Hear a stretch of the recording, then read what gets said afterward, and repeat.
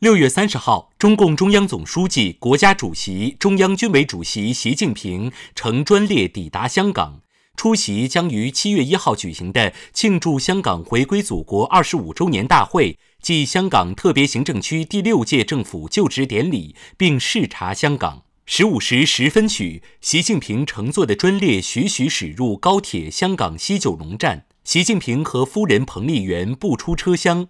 香港特别行政区行政长官林郑月娥和丈夫林兆波上前迎接。欢迎仪式上，香港警察乐队奏响热情的欢迎曲，充满精气神的舞狮欢腾跳跃。数百名香港青少年和各界群众代表挥动国旗、特别行政区区旗和鲜花，表达热烈的欢迎。习近平和彭丽媛向欢迎的人群挥手致意。习近平这次赴港受到海内外高度关注。中外记者在现场等候，习近平走到采访区，向在场记者问好。他表示，明天是香港回归祖国二十五周年庆典日，全国各族人民将和香港同胞一道庆祝这件喜事。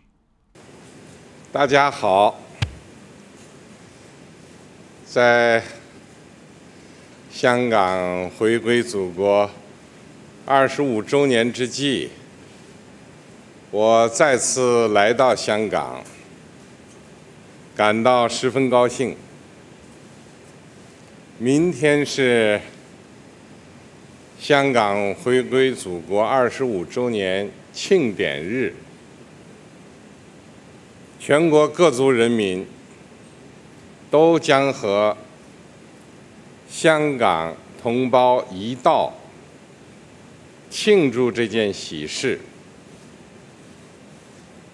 在此，我向香港同胞致以热烈祝贺和美好祝愿。据我上次到香港来啊，已经过了五个春秋啊。这五年，我一直关注着香港。牵挂着香港，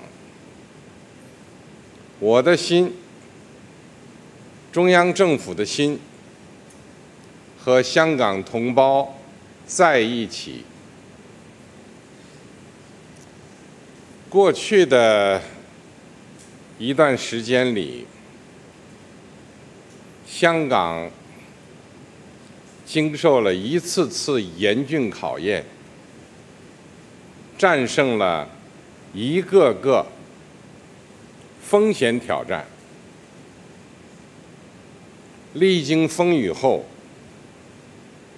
香港浴火重生，呈现出蓬勃的生机。事实证明，“一国两制”具有。强大的生命力，它能确保香港长期繁荣稳定，维护香港同胞的福祉。一国两制是个好制度，正可谓啊。行而不辍，未来可期。只要我们毫不动摇的坚持“一国两制”，香港的未来一定会更美好。香港一定会为。中华民族伟大复兴，做出新的、更大的贡献。